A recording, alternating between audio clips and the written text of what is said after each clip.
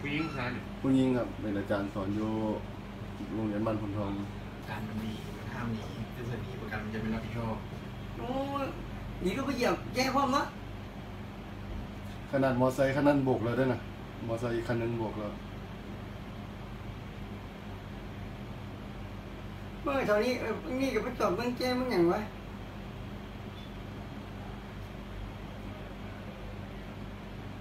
มันเดี๋ยวเห็นรถหนักพร้อ มตกใจเล